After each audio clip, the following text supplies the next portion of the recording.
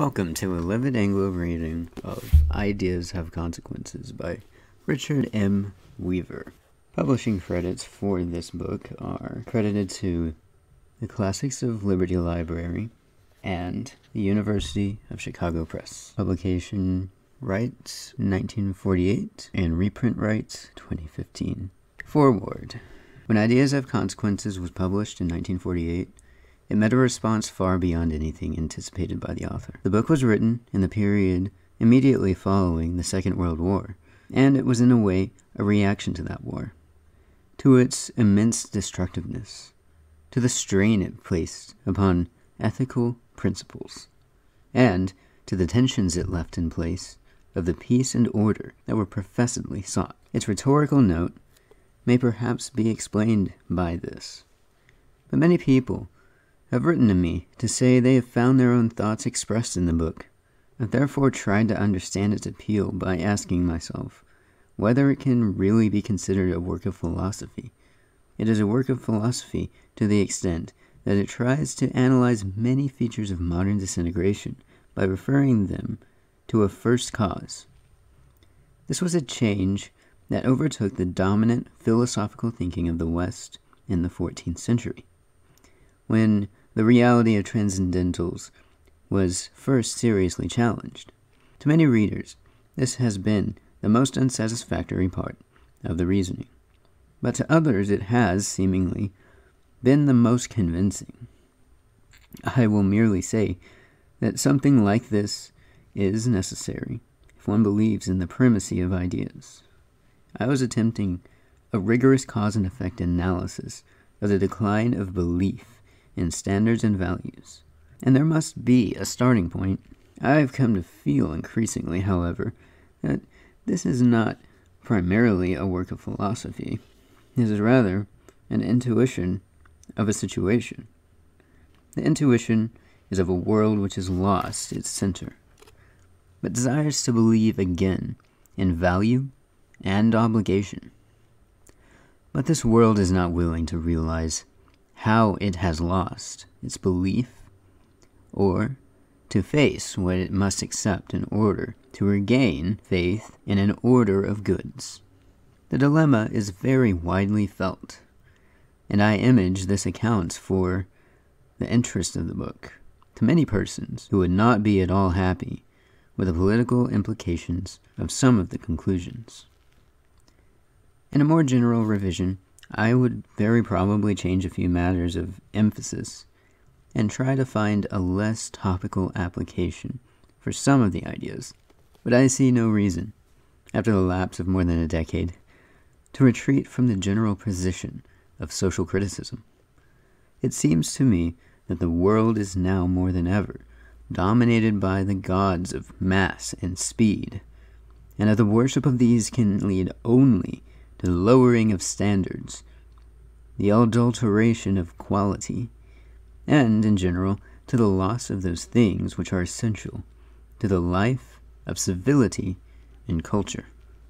The tendency to look with suspicion upon excellence, both intellectual and moral, as undemocratic, shows no sign of diminishing. The book was intended as a challenge to forces that threaten the foundations of civilization, and I'm very happy to see it appear in a more accessible edition. Richard M. Weaver. Introduction This is another book about the disillusion of the West. I attempt two things not commonly found in the growing literature of this subject. First, I present an account of the decline based not on analogy, but on deduction. It is here the assumption that the world is intelligible and that man is free, and that those consequences we are now expiating are the product of not biological or other necessity, but of unintelligent choice. Second, I go so far as to propound, if not a whole solution, at least the beginning of one, in the belief that man should not follow a scientific analysis with a plea of moral impotence. In considering the world to which these matters are addressed, I have been chiefly impressed by the difficulty of getting certain initial facts admitted. This difficulty is due in part to the widely prevailing Whig theory of history, which its belief that the most advanced point in time represents the point of highest development, aided no doubt by theories of evolution, which suggest to the uncritical a kind of necessary passage from simple to complex. Yet the real trouble is found to lie deeper than this. It is the appalling problem, when one comes to actual cases, of getting men to distinguish between better and worse. Are people today provided with a sufficiently rational scale of values to attach these predicates with intelligence? There is ground for declaring that modern man has become a moral idiot. So few are those who care to examine their lives or accept the rebuke which comes of admitting that our present state may be a fallen state. That one questions whether people now understand what is meant by the superiority of an ideal. One might expect abstract reasoning to be lost upon them. But what is he to think when attestations of the most concrete kind are set before them, and they are still powerless to mark a difference or to draw a lesson? For four centuries, every man has been not only his own priest, but his own professor of ethics. And the consequence is an anarchy which threatens even that minimum consensus of value necessary to the political state. Surely we are justified in saying of our time, if you seek the monument to our folly, look about you. In our own day, we have seen cities obliterated and ancient faiths stricken. We may well ask, in the words of Matthew, whether we are not faced with the great tribulation, such as was not since the beginning of the world. We have, for many years, moved with a brash confidence that man had achieved a position of independence, which rendered the ancient restraints needless. Now, in the first half of the 20th century, at the height of modern progress, we behold unprecedented outbreaks of hatred and violence. We have seen whole nations desolated by war and turned into penal camps by their conquerors we find half of mankind looking upon the other half as criminal. Everywhere occur symptoms of mass psychosis. Most portentous of all, there appear diverging bases of value, so that our single planetary globe is mocked by worlds of different understanding. These signs of disintegration arouse fear, and fear leads to desperate unilateral efforts towards survival which only forward the process. Like Macbeth, Western man made an evil decision, which has become the efficient and final cause of other evil decisions. Have we forgotten our encounter with the witches on the heath? It occurred in the late 14th century, and what the witches said to the protagonist of this drama was that man could realize himself more fully if he would only abandon his belief in the existence of transcendentals. The powers of darkness were working subtly, as always, and they couched this proposition in the seemingly innocent form of an attack upon universals. The defeat of logical realism in the great medieval debate was the crucial event in the history of Western culture. From this flowed those acts which issue now in modern decadence. One may be accused here of oversimplifying the historical process, but I take the view that the conscious policies of men and governments are not mere rationalizations of what has been brought about by unaccountable forces. They are rather deductions from our most basic ideas of human destiny. And they have a great, though not unobstructed, power to determine our course. For this reason, I turn to William of Ockham as the best representative of change which came over man's conception of reality at this historic juncture. It is William of Ockham who propounded the faithful doctrine of nominalism, which denies that universals have a real existence. His triumph tended to leave universal terms mere names, serving our convenience. The issue ultimately involved is whether there is a source of truth higher than and independent of man. And the answer to the question is decisive for one's view of the nature and destiny of humankind.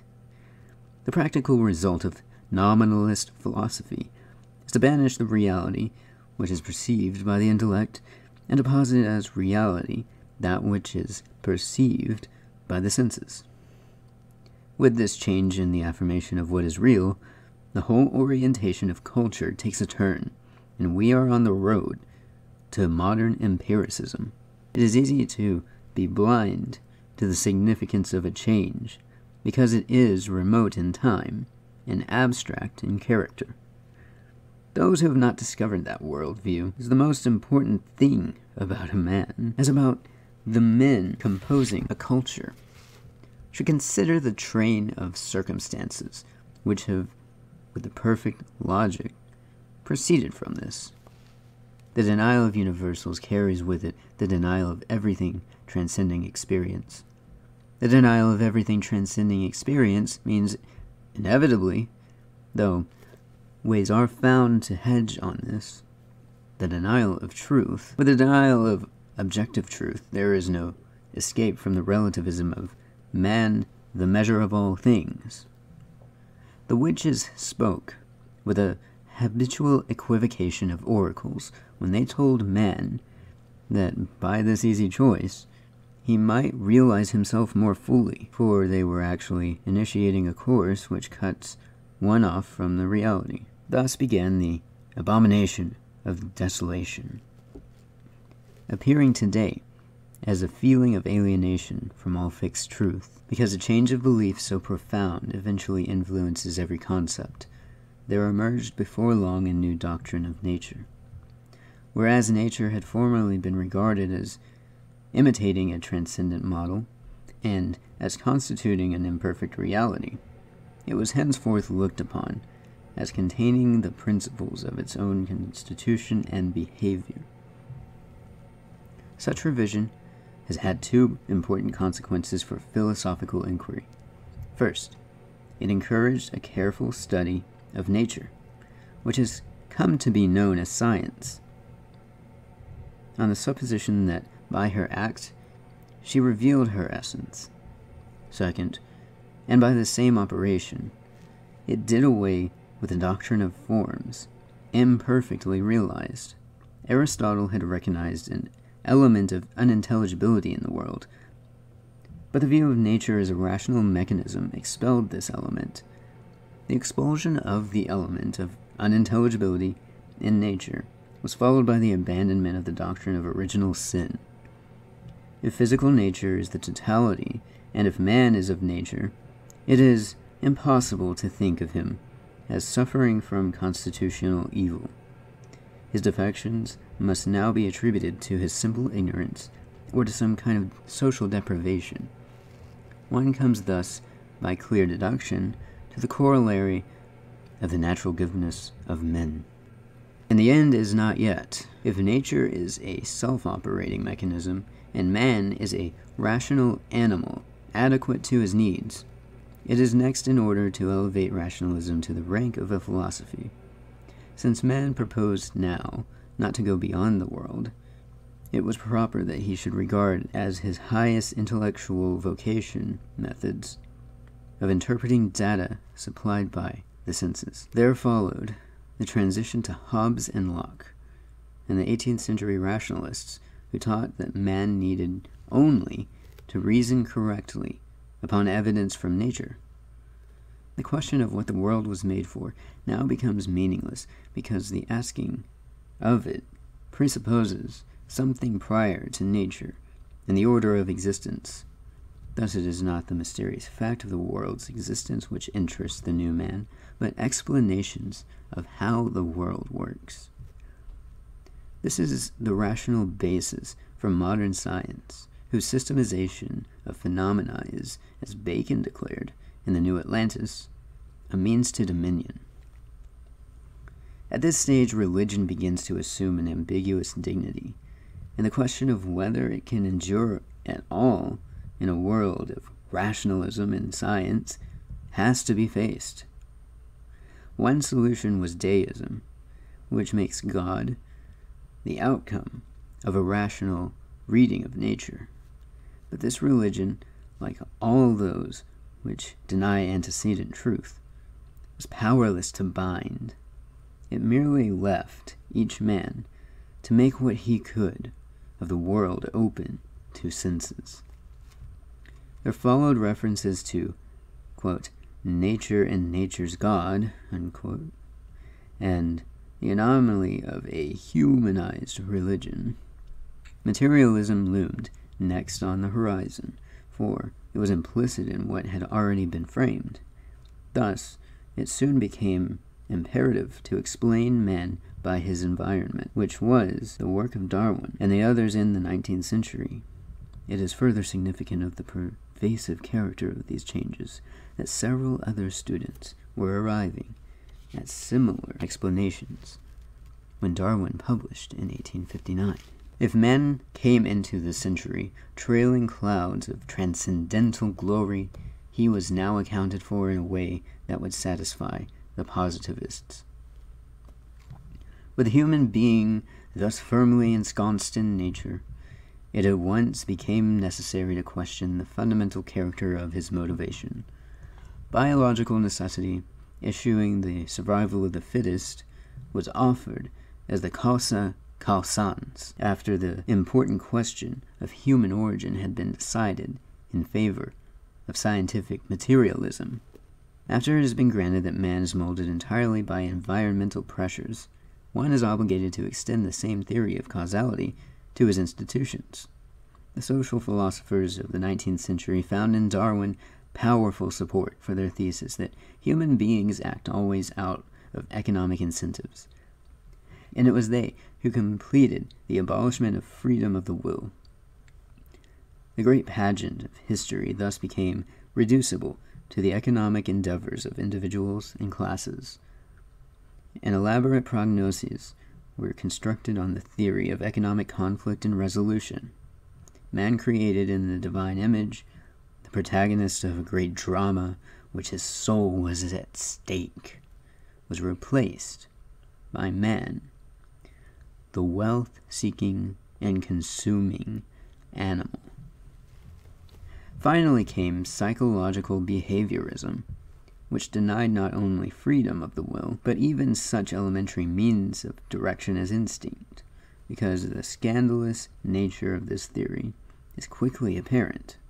It failed to win converts in such numbers as the others. Yet it is only a logical extension of them, and should in fairness be embraced by the upholders of material causation. Essentially, it is reduction to absurdity of the line of reasoning, which began when man bade a cheerful goodbye to the concept of transcendence. There is no proper term to describe the condition in which he is now left, unless it be abysmality. He is in the deep and dark abysm, and he has nothing with which to raise himself. His life is practice without theory. As problems crowd upon him, he deepens confusion by meeting them with ad hoc policies. Secretly, he hungers for truth, but consoles himself with the thought that life should be experimental. He sees his institutions crumbling and rationalizes with talk of emancipation. Wars have to be fought seemingly with increased frequency. Therefore, he revives the old ideals, ideals which his present assumptions actually render meaningless, and by the machinery of state forces them again to do service. He struggles with the paradox that total immersion in matter unfits him to deal with the problems of matter. His decline can be represented as a long series of abdications. He has found less and less ground for authority. At the same time, he thought he was setting himself up at the center of authority in the universe. Indeed, there seems to exist here a dialectic process which takes away his power and proportion, as he demonstrates that his independence entitles him to power. This story is eloquently reflected in changes that have come over education. The shift from truth of the intellect to the facts of experience followed hard upon meeting with the witches. A little sign appears, quote, a cloud no bigger than a man's head. In a change that came over the study of logic in the 14th century, the century of Occam, logic became grammaticized passing from a science which taught men vere loqui to one that taught recte loqui, or from an ontological division by categories to a study of signification, with the inevitable focus upon historical meanings. Here begins the assault upon definition. If words no longer correspond to objective realities, it seems no great wrong to take liberties with words. From this point on, faith in language as a means of arriving at truth weakens until our own age, filled with an acute sense of doubt, looks for a remedy in the new science of semantics. So, with the subject matter of education, the Renaissance increasingly adapted its course of study to produce a successful man of the world, though it did not leave him without philosophy and the graces, for it was still, by heritage at least, an ideational world, and was therefore near enough transcendental conceptions to perceive the dehumanizing effects of specialization. In the 17th century, physical discovery paved the way for the incorporation of the sciences, although it was not until the 19th that these began to challenge the very continuance of the ancient intellectual disciplines. And in this period, the change gained momentum aided by two developments of overwhelming influence. The first was a patent increase in man's dominion over nature, which dazzled all, but the most thoughtful. And the second was the growing mandate for popular education. The latter might have proved a good itself, but it was wrecked on the equalitarian democracy's unsolvable problem of authority. None was in a position to say what the hungering multitudes were to be fed. Finally, in an abject surrender to the situation, and an abdication of the authority of knowledge, came the elective system. This was followed by a carnival of specialism, professionalism, and vocationalism, often fostered and protected by strange bureaucratic devices, so that on the honored name of university there traded a weird congeries of interest, not a few of which were anti intellectual. Even in their pretensions, institutions of learning did not check, but rather contributed to the decline by losing interest in Homo sapiens, to develop Homo faber. Studies pass into habits, and it is easy to see those changes reflected in the dominant type of leader from epoch to epoch. In the 17th century, it was, on one side, the royalist and learned defender of the faith, and on the other, aristocratic intellectuals the type of John Milton and the Puritan theocrats who settled in New England. The next century saw the domination of the Whigs in England and the rise of encyclopedists and romanticists on the continent. Men who were not without intellectual background, but who assiduously cut the mooring strings to reality, as they succumbed to the delusion that man is by nature good. Frederick the Great's rebuke to sentimentalists Ach mein Leben sollte in Kant nicht diese verdammte Roche epitomizes the difference between the two outlooks.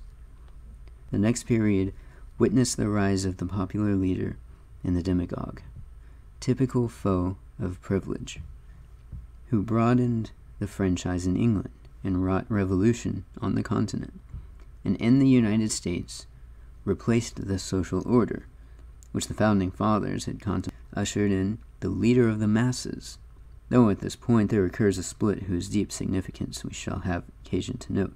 The new prophets of reform divide sharply into sentimental humanitarians and an elite group of remorseless theorists who pride themselves on their freedom from sentimentality. Hating this world they never made, after its debauchery of centuries, the modern communists, revolutionaries, and logicians move toward intellectual rigor. In their decision lies the sharpest reproach yet to the desertion of intellect by Renaissance man and his successors. Nothing is more disturbing to modern men of the West than the logical clarity with which the communist faces all problems.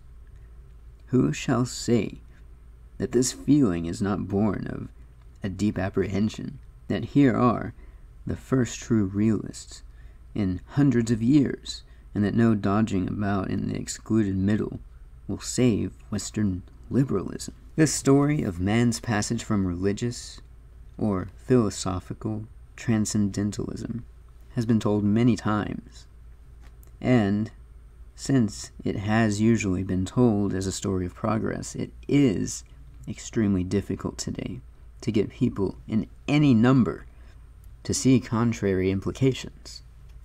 Yet to establish the fact of decadence is the most pressing duty of our time, because until we have demonstrated that cultural decline is a historical fact which can be established, and that modern man has about squandered his estate, we cannot combat those who have fallen prey to hysterical optimism. Such is the task and our most serious obstacle is that people traveling this downward path develop an insensibility which increases their degradation. Loss is perceived most clearly at the beginning.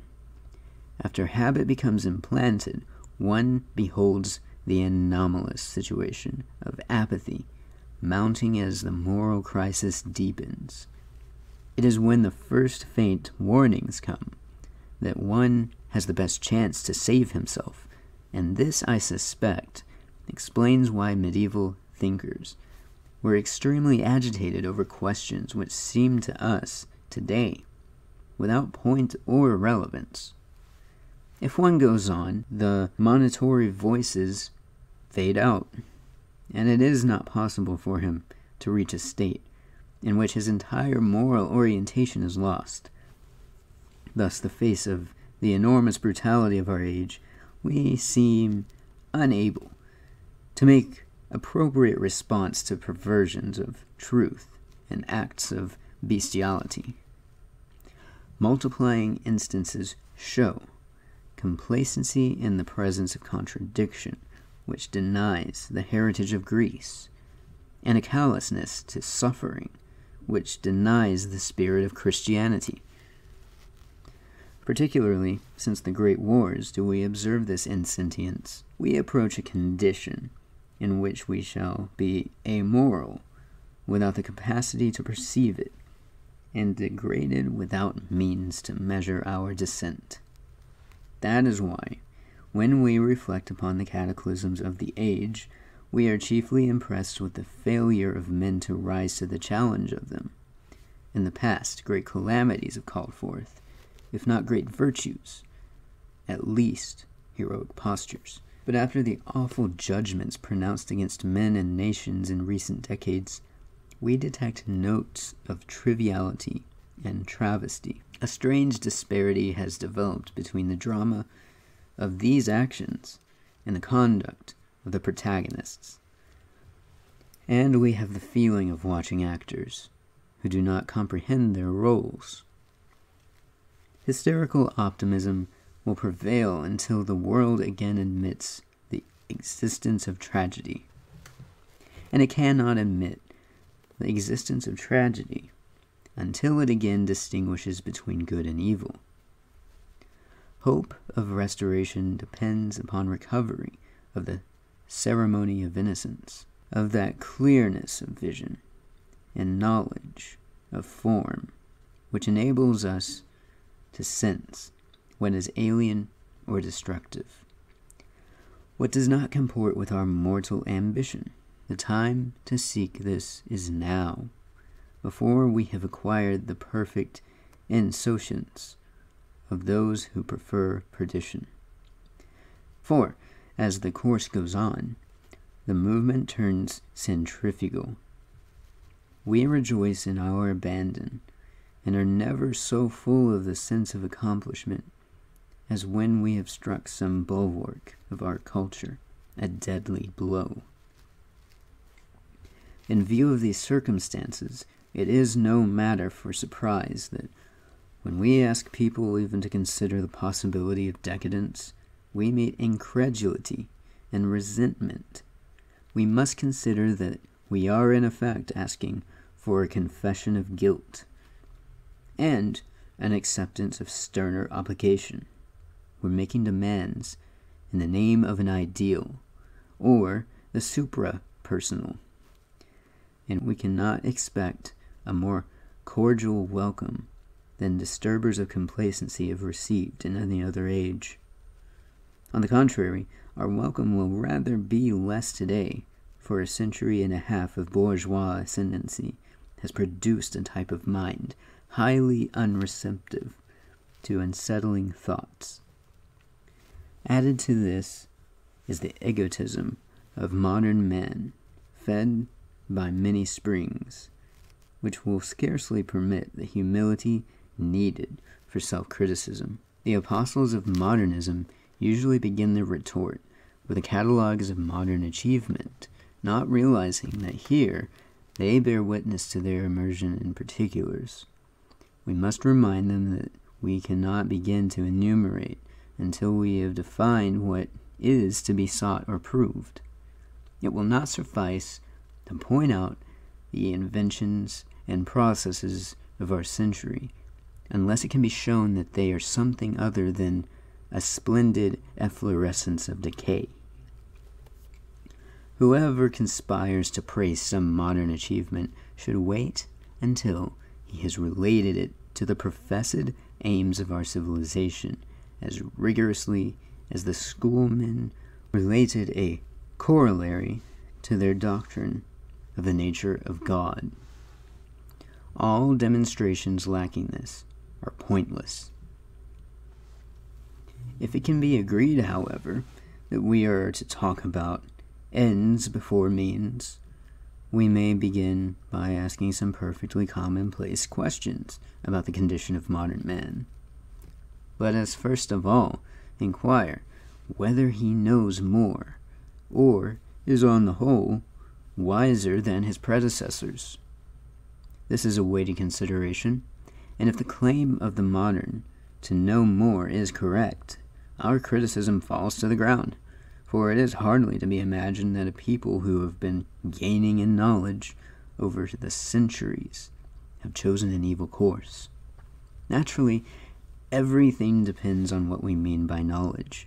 I shall adhere to the classic proposition that there is no knowledge at the level of sensation. Therefore, knowledge is of universals, and that whatever we know as a truth enables us to predict. The process of learning involves interpretation, and the fewer particulars we require in order to arrive at our generalizations, the more apt pupils are in the school of wisdom. The whole tendency of modern thought, one might say, its whole moral impulse, is to keep the individual busy with endless induction. Since the time of Bacon, the world has been running away from, rather than toward, first principles. So that, on the verbal level, we see fact substituted for truth. And on the philosophic level, we witness attack upon abstract ideas and speculative inquiry. The unexpressed assumption of empiricism is that experience will tell us what we are experiencing. In the popular arena, one can tell from certain newspaper columns and radio programs that the average man has become imbued with this notion and imagines that an industrious acquisition of particulars will render him a man of knowledge. With what pathetic trust does he recite his facts? He's been told that knowledge is power, and knowledge consists of a great many small things. Thus, the shift from speculative inquiry to investigation of experience has left modern man so swamped with multiplicities he no longer sees his way. By this we understand Gautier's dictum that one may be said to know much only in the sense that he knows little. If our contemporary belongs to a profession, he may be able to describe some tiny bit of the world with minute fidelity, but he still lacks understanding. There can be no truth under a program of separate sciences, and his thinking will be invalidated as soon as ab extra relationships are introduced. The world of modern knowledge is like the universe of Eddington, expanding by diffusion until it approaches the point of nullity. What the defenders of present civilization usually mean when they say that modern man is better educated than his forebears is that he is literate in larger numbers. The literacy can be demonstrated, yet one may question whether there has ever been a more deceptive panacea, and we are compelled, after a hundred years of experience, to echo Nietzsche's bitter observation. Quote, Everyone being allowed to learn to read ruineth in the long run not only writing, but also thinking. End quote. It is not what people can read, it is what they do read, and what they can be made by any imaginable means to learn from what they read that determine the issue of this noble experiment. We have given them a technique of acquisition. How much comfort can we take in the way they employ it?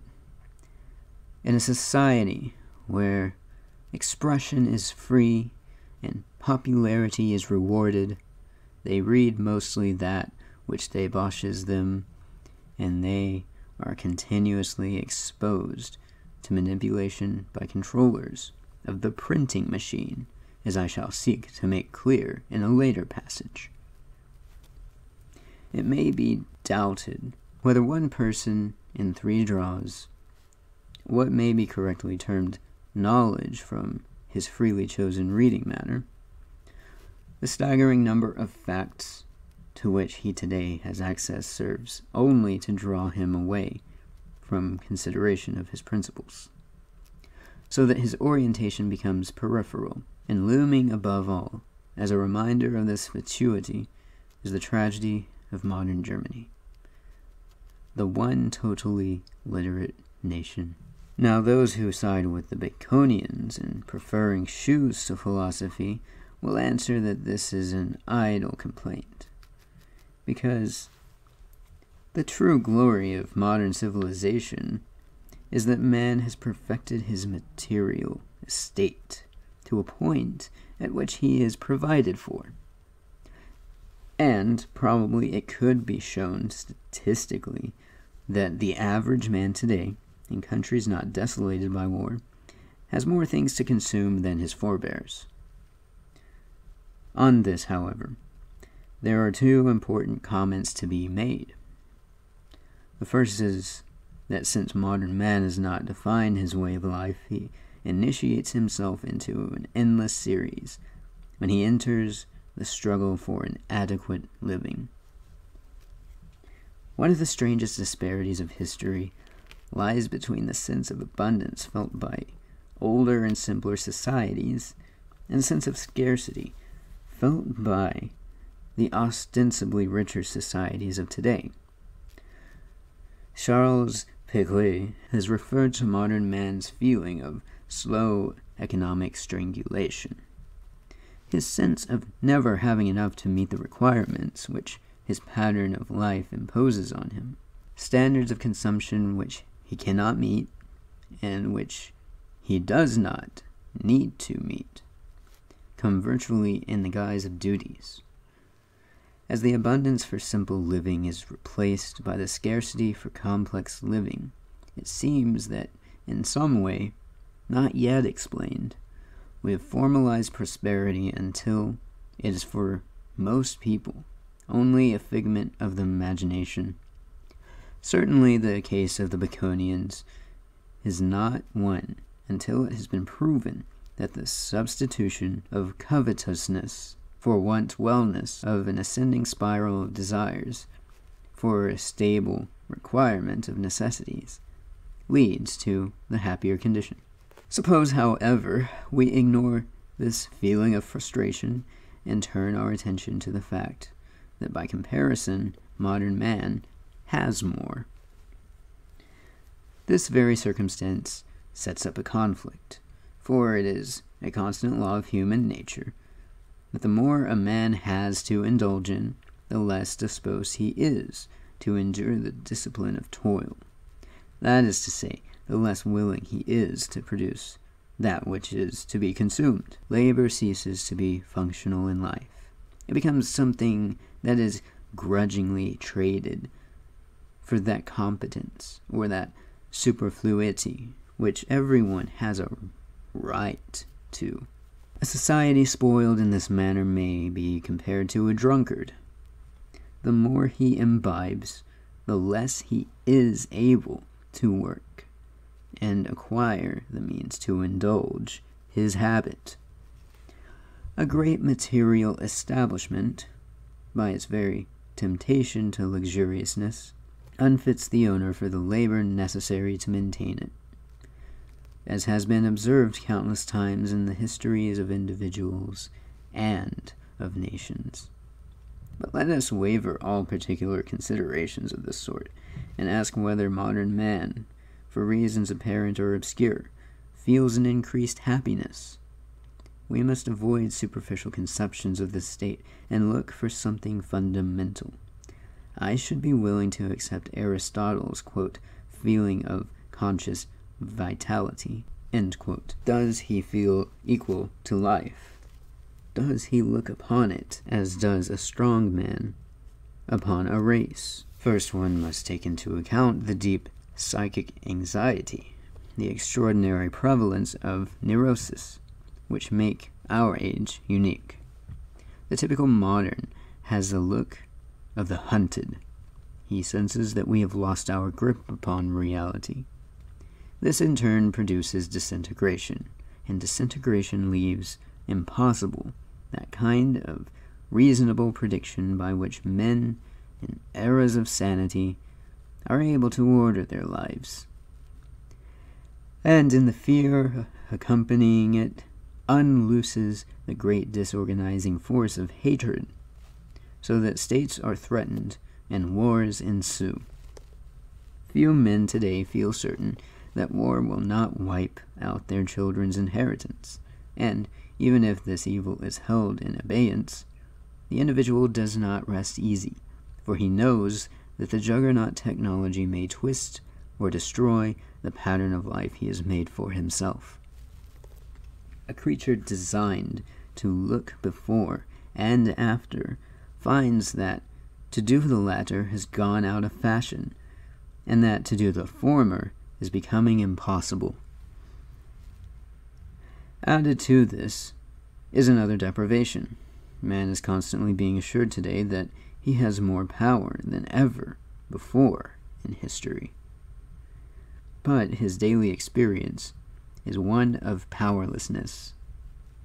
Look at him today, somewhere in the warren of great city. If he is with a business organization, the odds are great that he has sacrificed every other kind of independence in return for that dubious one known as financial. modern social and corporate organization makes independence an expensive thing. In fact, it may make common integrity a prohibitive luxury for the ordinary man. As Stuart Chase has shown, not only is this man likely to be a slavery at his place of daily toil, but he is cribbed, cabined, and confined in countless ways, many of which are merely devices to make possible physically the living together of masses. Because these are deprivations of what is rightful, the end is frustration, and hence the look upon the faces of those whose souls have not already become minuscule of hunger and unhappiness. There are some questions that should be put to the eulogists of progress. It will certainly be objected that the decadence of a present age is one of the permanent illusions of mankind. It is said that each generation feels it with reference to the next, in the same way that parents can never quite trust the competence of their children to deal with the great world. In reply, we must affirm that given the conditions described, each successive generation does show decline, in the sense that it stands one step nearer the abysm. When change is in progress, every generation will average an extent of it, and that some cultures have passed from a high state of organization to dissolution can be demonstrated as objectively as anything in history. One has only to think of Greece, of Venice, of Germany. The assertion that changes from generation to generation are illusory, and that there exist only cycles of biological reproduction is another form of denial of standards and ultimately of knowledge, which lies at the source of our degradation. Civilization has been an intermittent phenomenon. To this truth, we have allowed ourselves to be blinded by the insolence of material success. Many late societies have displayed a pyrotechnic brilliance and a capacity for refined sensation far beyond anything seen in their days of vigor. Such things may exist and yet work against that estate of character, concerned with choice, which is the anchor of society, is the great lesson to be learned. In the final reach of analysis, our problem is how to recover that intellectual integrity which enables men to perceive the order of goods. The opening chapter, therefore, attempts to set forth the ultimate source of our feeling and thinking about the world, which makes our judgments of life not shifting and casual, but necessary and right. Chapter 1 the unsentimental sentiment. Block quote. But the thing a man does practically believe, and this is often enough without asserting it, even to himself, much less others, the thing a man does practically lay to heart, and know for certain, concerning his vital relations to this mysterious universe and his duty and destiny there, that is in all cases the primary thing for him, and creatively determines all the rest. End quote. Carlyle. Every man participating in a culture has three levels of conscious reflection his specific ideas about things, his general beliefs or convictions, and his metaphysical dream of the world. The first of these are the thoughts he employs in the activity of daily living. They direct his disposition of immediate matters, and so constitute his worldliness. One can exist on this level alone for limited periods, though pure worldliness must eventually bring disharmony and conflict. Above this lies his body of beliefs, some of which may be heritages, simply, but others of which he will have acquired in the ordinary course of his reflection.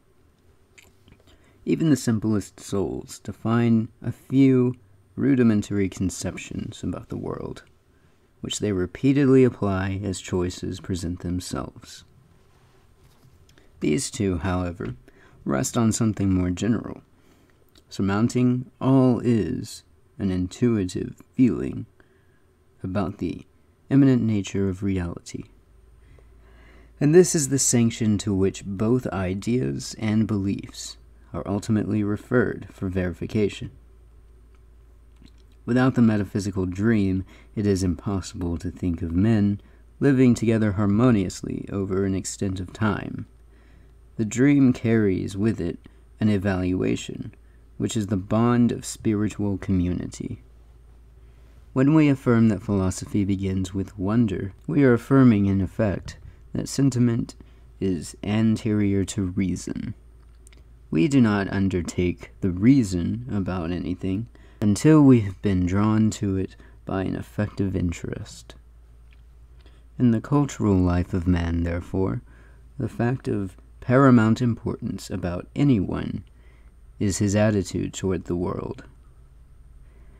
How frequently is it brought to our attention that nothing good can be done if the will is wrong?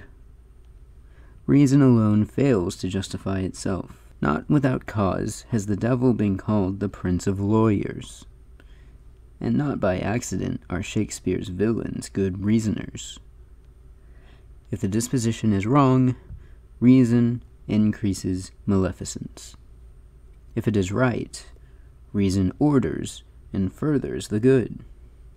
We have no authority to argue anything of a social or political nature unless we have shown by our primary volition that we approve some aspects of the existing world. The position is arbitrary in the sense that here is a proposition behind which there stands no prior. We begin our other affirmations after a categorical statement that life and the world are to be cherished.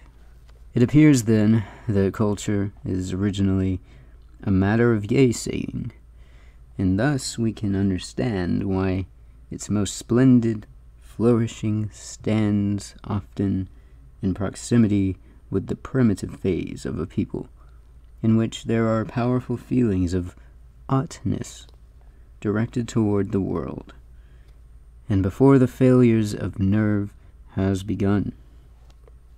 Simple approbation is the initial step only.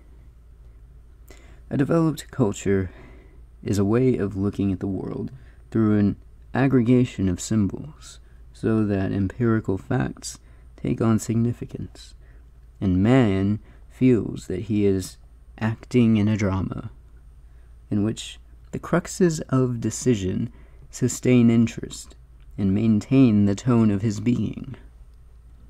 For this reason, a true culture cannot be content with a sentiment which is sentimental with regard to the world. There must be a source of clarification, of arrangement, and hierarchy, which will provide the grounds for the employment of the rational faculty. Now man first begins his, this clarification when he becomes a mythologist. And Aristotle has noted the close relationship between myth making and philosophy. This poetry of representation depicting an ideal world is a great cohesive force, binding whole peoples to the acceptance of a design and fusing their imaginative life. Afterwards comes the philosopher, who points out the necessary connection between phenomena, yet who may, at the other end, leave the pedestrian level to talk about final destination. Thus, in the reality of his existence, man is impelled from behind by the life affirming sentiment and drawn forward by some conception of what he should be. The extent to which his life is shaped in between these by the conditions of the physical world is indeterminable, and so many supposed limitations have been transcended that we must at least allow the possibility that volition has some influence upon them. The most important goal for one to arrive at is this imaginative picture of what is otherwise a brute empirical fact, the denier of the world. His rational faculty will then be in the service of a vision which can preserve his sentiment from sentimentality. There is no significance to the sound and fury of his life, as of a staged tragedy, unless something is being affirmed by the complete action. And we can say of one of the other that the action must be within bounds of reason, if our feeling toward it is to be informed and proportioned, which is a way of saying, if it is to be just, the philosophically ignorant vitiate their own actions by failing to observe measure. This explains why pre cultural periods are characterized by formlessness and post cultural by the clashing of forms. The darkling plain swept by alarms, which threatens to be the world of our future, is an arena in which conflicting ideas numerous after the accumulation of centuries, are freed from the discipline earlier imposed by the ultimate conceptions. The decline is to confusion.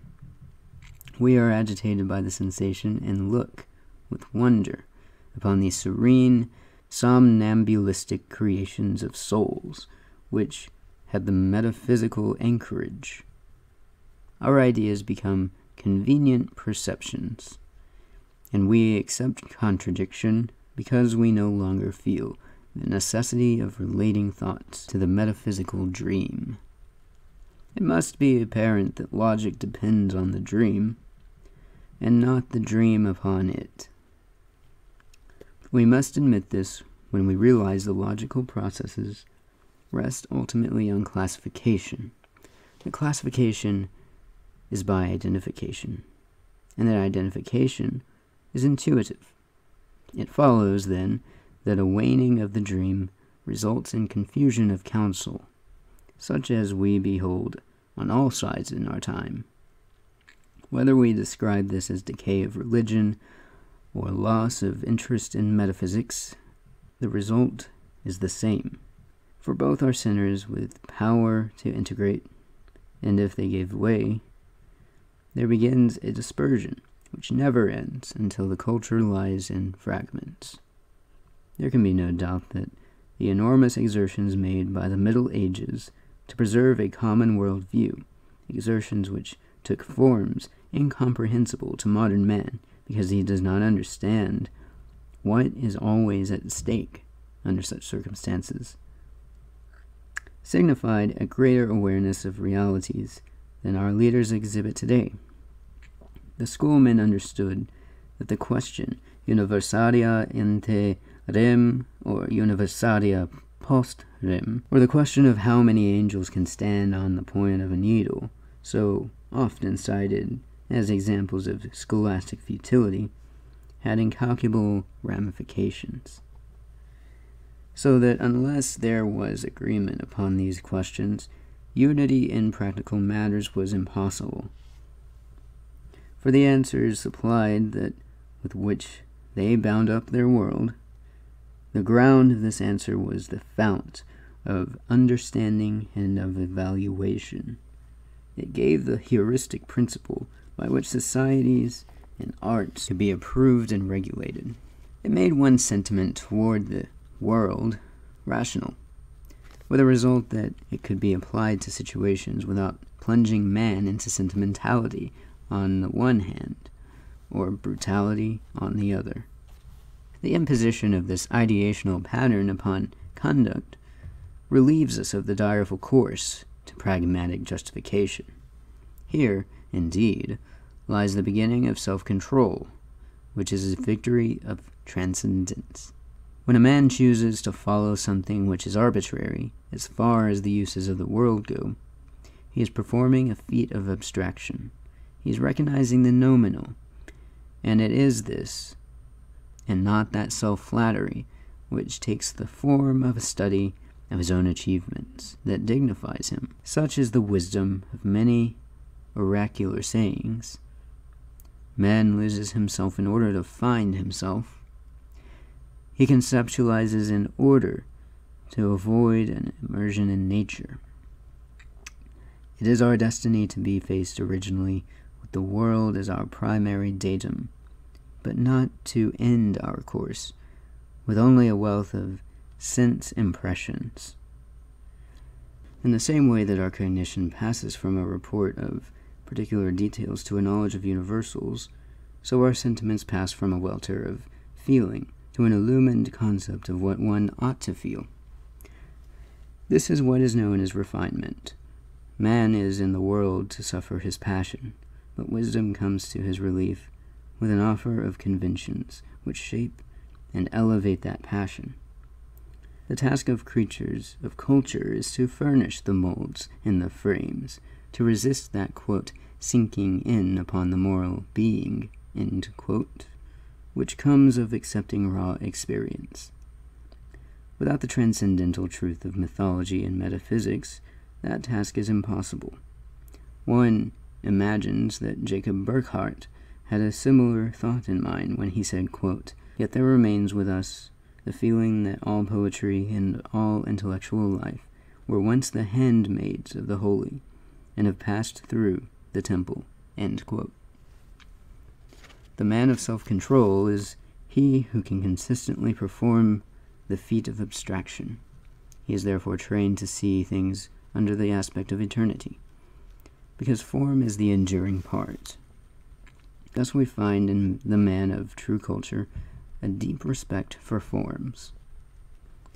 He approaches even those he does not understand with awareness that a deep thought lies in an old observance. Such respect distinguishes him from the barbarian, on the one hand, and the degenerate, on the other. The truth can be experienced in another way by saying that the man of culture has a sense of style. Style requires measure, whether in space or time, for measure imparts structure, and it is structure which is essential to intellectual apprehension that it does not matter what a man believes is a statement heard on every side today. A statement carries a fearful implication. If a man is a philosopher in the sense with which we started, what he believes tells him what the world is for.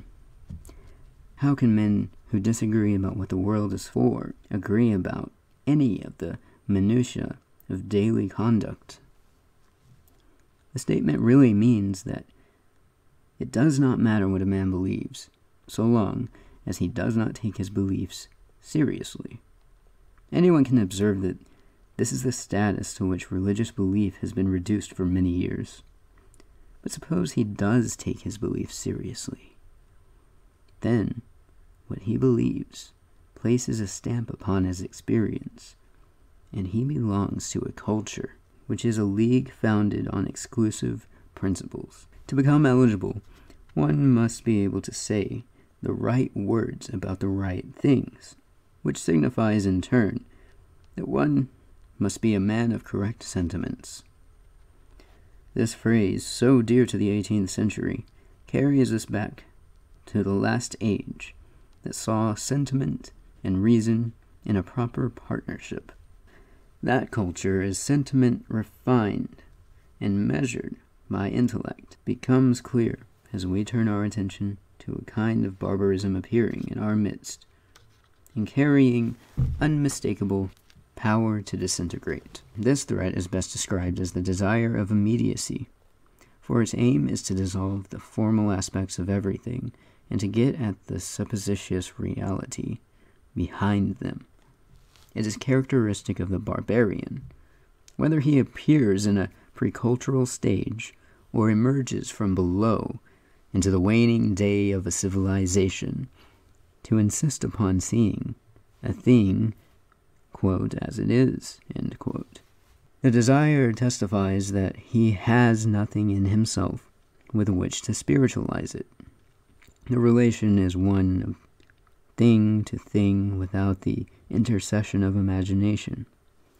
Impatient of the veiling with which the man of higher type gives the world imaginative meaning, the barbarian and the Philistine who is the barbarian living amid culture, amends the axis of immediacy.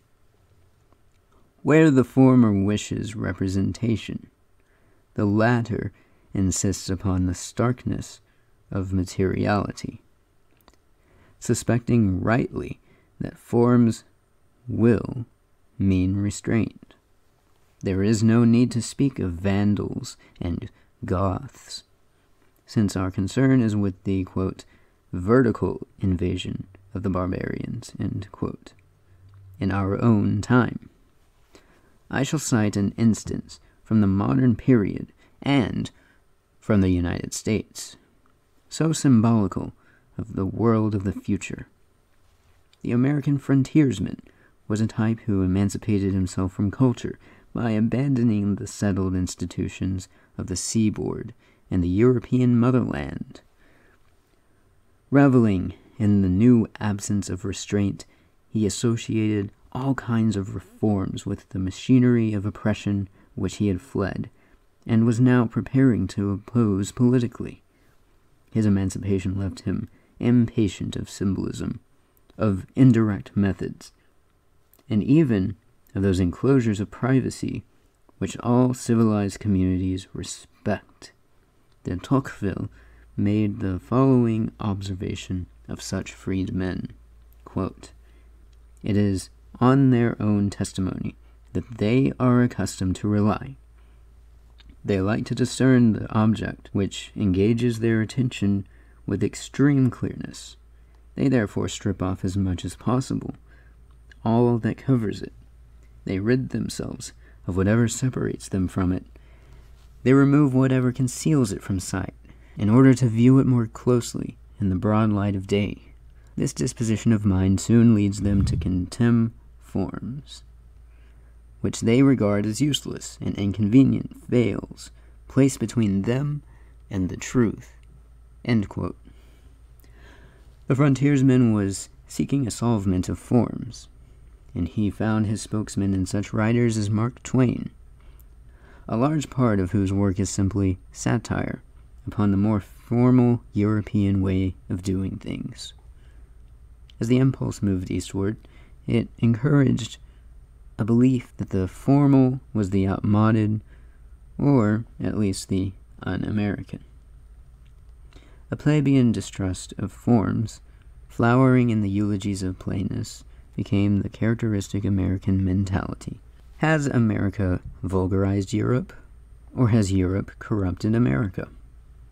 There is no answer to this question, for each has in its own way yielded to the same impulse.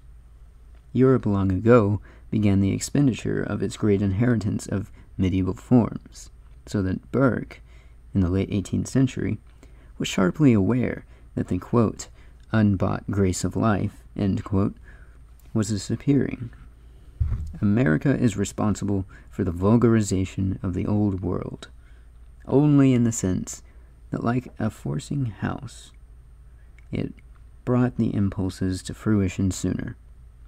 It enjoys the dubious honor of a foremost place in the procession. Today, over the entire world, there are dangerous signs that culture, as such, is marked for attack, because its formal requirements stand in the way of expression of the natural man.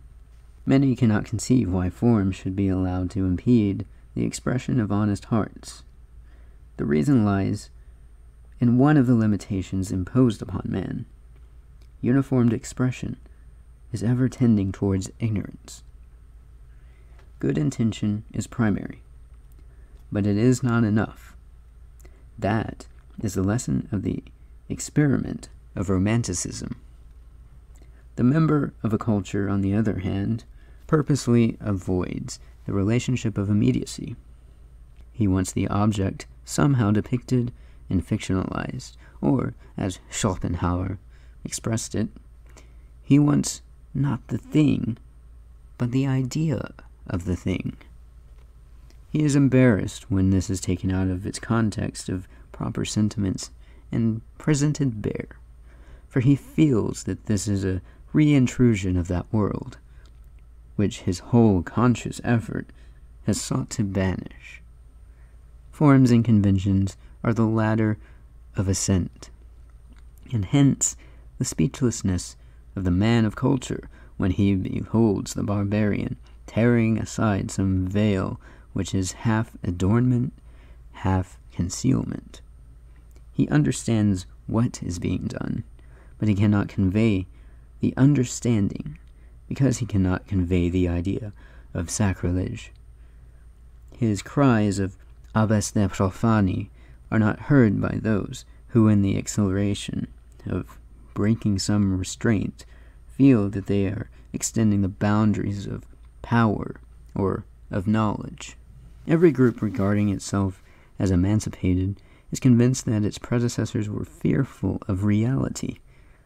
It looks upon euphemisms and all the veils of decency with which things were previously draped as obstructions, which it, with superior wisdom and praiseworthy courage, will now strip away.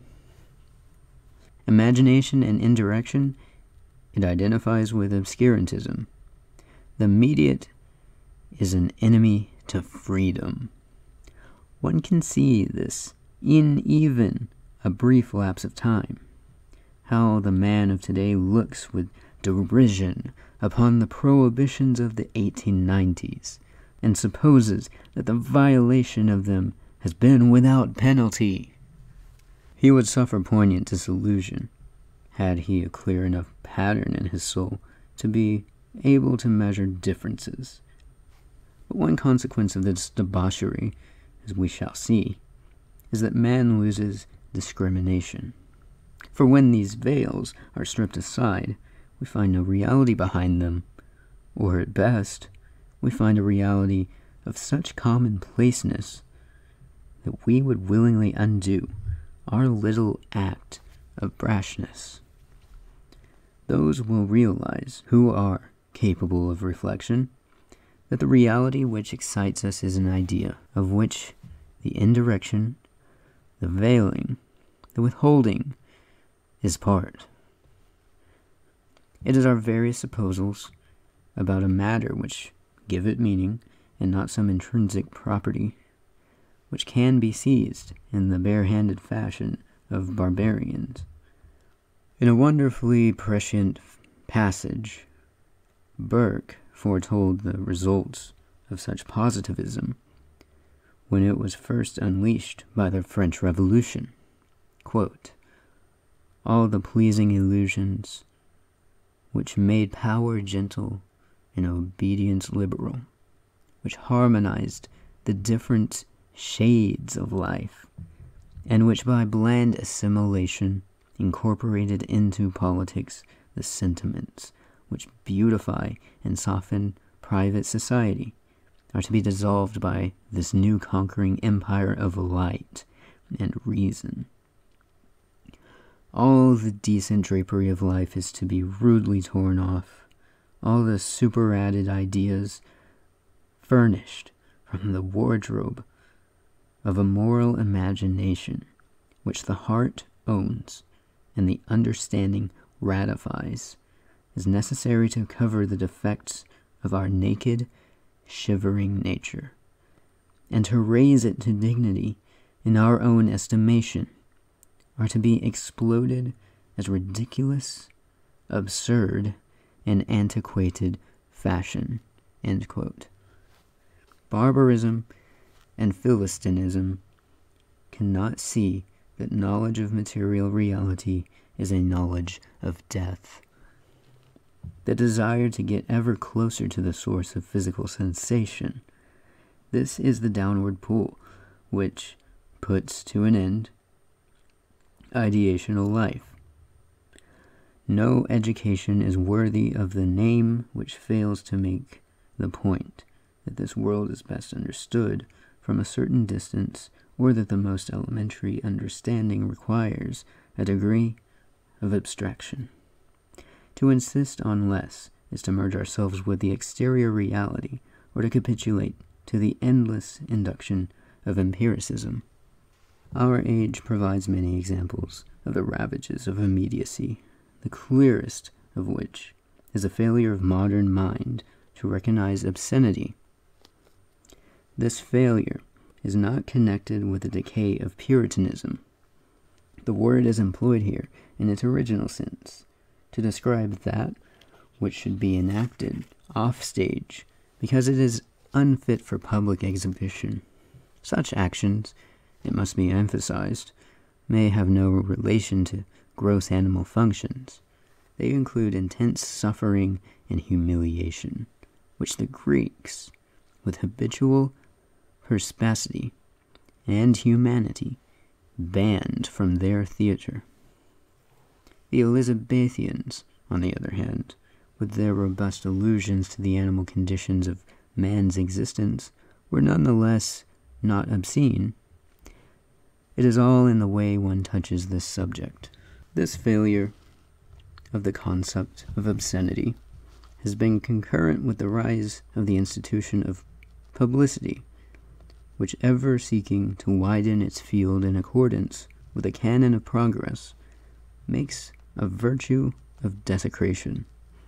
In the nineteenth century, this change came visibly over the world, bringing expressions of concern from people who had been brought up in the tradition of proper sentiment. Propriety, like other old fashioned anchorages, was abandoned because it inhibited something. Proud of its shamelessness, the new journalism served up in swaggering style matter which heretofore had been veiled in decent taciturnity. It was natural that so true an apostle of culture as Matthew Arnold should have sensed the mortal enemy in this. After a tour of the United States in 1888, he recorded his conviction that, quote, if one were searching for the best means to efface and kill in a whole nation the discipline of self respect, the feeling for what is elevated, he could do no better than take the American newspapers.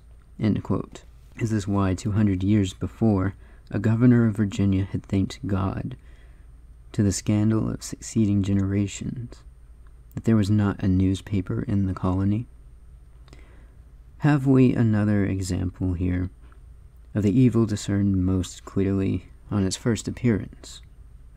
What he beheld in germ has grown so immeasurably that today we have media of publicity which actually specialize in the kind of obscenity which the cultivated, not the prurient, find repugnant, and which the wisest of the ancients forbade.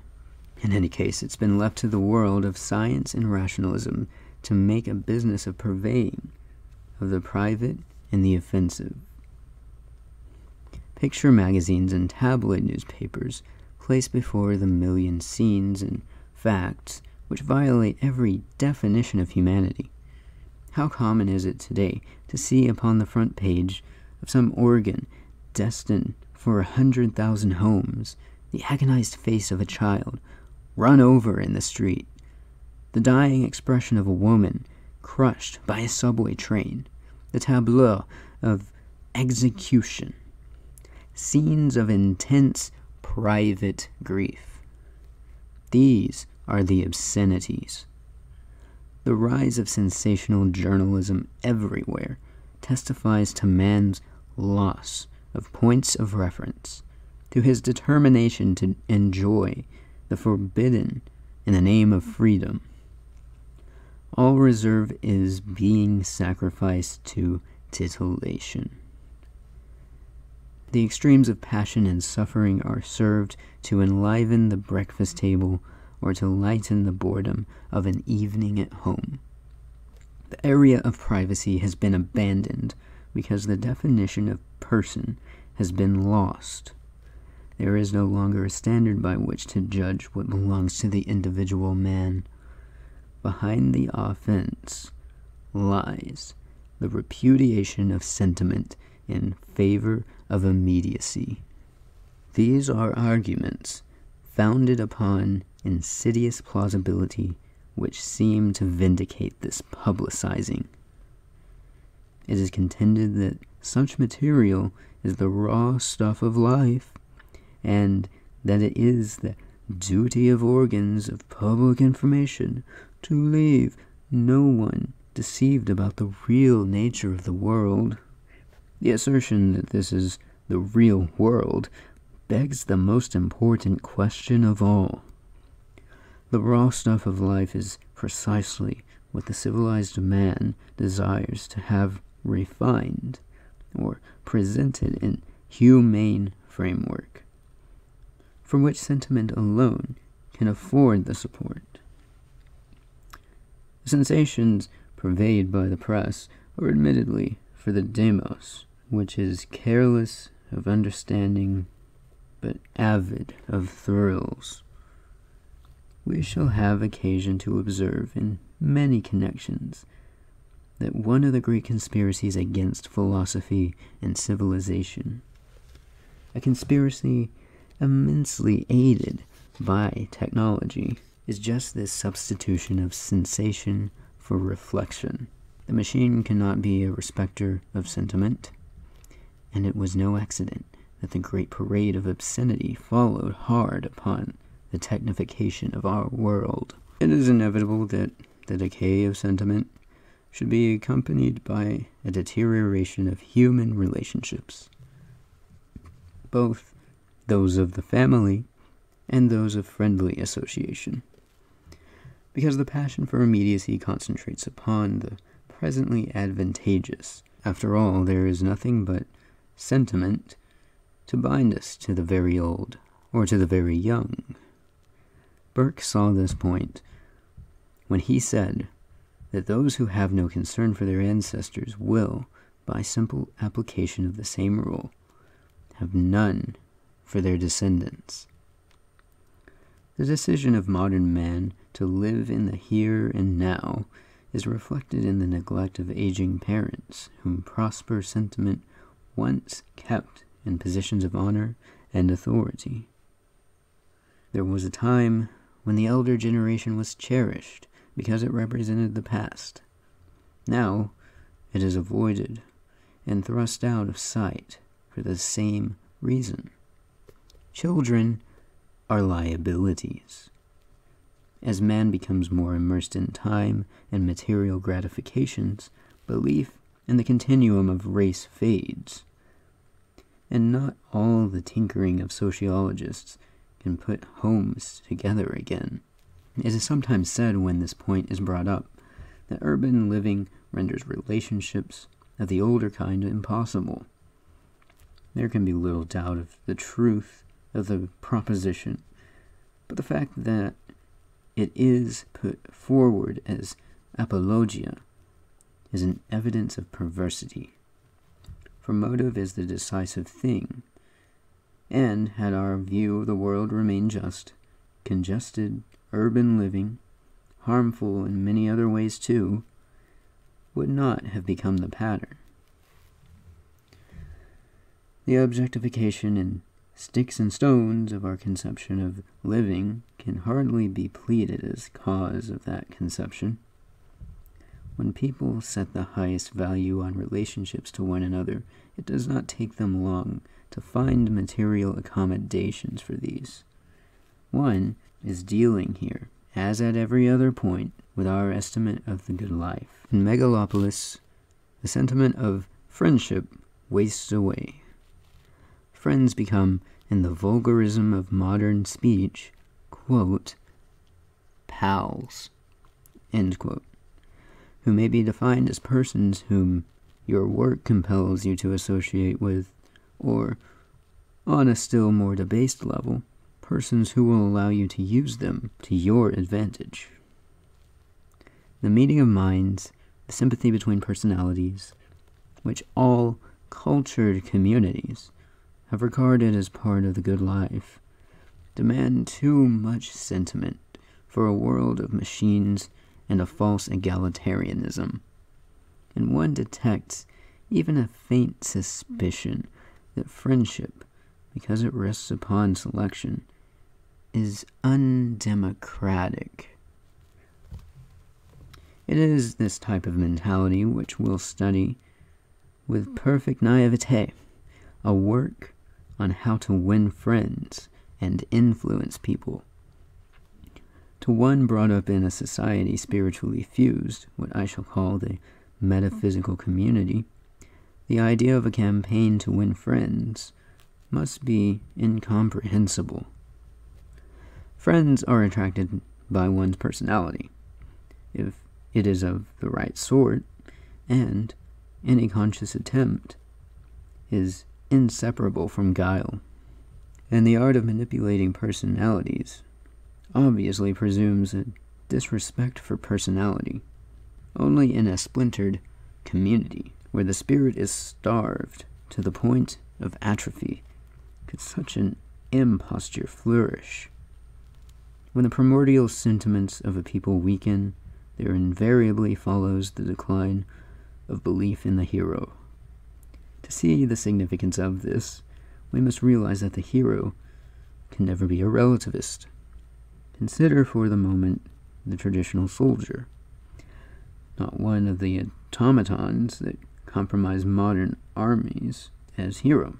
It may at first seem paradoxical to say that he is of all members of the laity farthest removed from pragmatism, yet his is an absolute calling. Give him prudential motives, and he at once turns into a Falstaff. His service is to causes which are formulated as ideals. In these he is taught to hold above both property and life, as ceremonies of military consecration make plain. One sees this truth well exemplified in the extreme formalization of the soldier's conduct. A formalization which is carried into the chaos of battle. A well drilled army moving into action is the imposition of maximum order upon maximum disorder. Thus, the historical soldier is by genus not the blind, unreasoning agent of destruction, which some contemporary writers make him out to be. He is rather the defender of the ultima ratio, the last protector of reason. Any undertaking that entails the sacrifice of life has implications of transcendence, and the preference of death to other forms of defeat to, quote, fate worse than death, end quote, is, on the secular level, the highest example of dedication. There seems little doubt to the ancient solidarity of priest and soldier, a solidarity becoming impossible today now that mechanized mass warfare has removed soldiering from the realm of ethical significance, rests upon this foundation. In addition, the disappearance of the heroic ideal is always accompanied by the growth of commercialism. There is a cause and effect relation here, for the man of commerce is, by the nature of things, a relativist. His mind is constantly on the fluctuating values of the marketplace, and there is no surer way for him to fail than to dogmatize and moralize about things. Quote, business and sentiment do not mix, end quote, is an adage of the utmost significance. It explains the tendency of all organic societies to exclude the trader from positions of influence and prestige. It accounts, I am sure, for Plato's strictures on retail merchants in the laws. The empirical character of British philosophy cannot be unrelated to the commercial habit of a great trading nation. Some form of sentiment deriving from our orientation toward the world lies at the base of all congeniality. Vanishing, it leaves cities and nations mere empirical communities, which are but people living together in one place, without friendships or common understanding, and without capacity, when the test comes, to pull together for survival. On the other side is the metaphysical community, suffused with a common feeling about the world, which enables all vocations to meet without embarrassment, and to enjoy the strength that comes of modern tendency. Our plea, then, must be to have back our metaphysical dream, that we may save ourselves from the sins of sentimentality and brutality. Does not its absence explain why, quote, the best lack all conviction, while the worst are full of passionate intensity? End quote. From the collected poems of W.B. Yeats. Without this grand source of ordering, our intensities turn into senseless affection and drain us, or to hatreds and consume us. On the one hand is sentimentality, with its emotion lavished upon the trivial and the absurd. On the other is brutality, which can make no distinctions in the application of its violence. Ages which have borne reputations for cruelty, are more to be regarded than those renowned, as ours is becoming to be, from brutality, because cruelty is refined and at least discriminates its objects and intentions. The terrible brutalities of democratic war have demonstrated how little the mass mind is capable of seeing the virtue of selection and restraint. The refusal to see distinction between babe and adult, between the sexes, between combatant and non combatant, distinctions which lay at the core of chivalry, the determination to weld all into a formless unit of mass and weight. This is the destruction of society through brutality. The roar of the machine is followed by the chorus of violence and the accumulation of riches to which the states dedicated themselves is lost in a blind fanaticism of destruction. Those who based their lives on the unintelligence of sentimentality fight to save themselves with the unintelligence of brutality. The only redemption lies in restraint imposed by idea. But our ideas if they are not to worsen the confusion, must be harmonized by some vision. Our task is much like finding the relationship between faith and reason for an age that does not know the meaning of faith.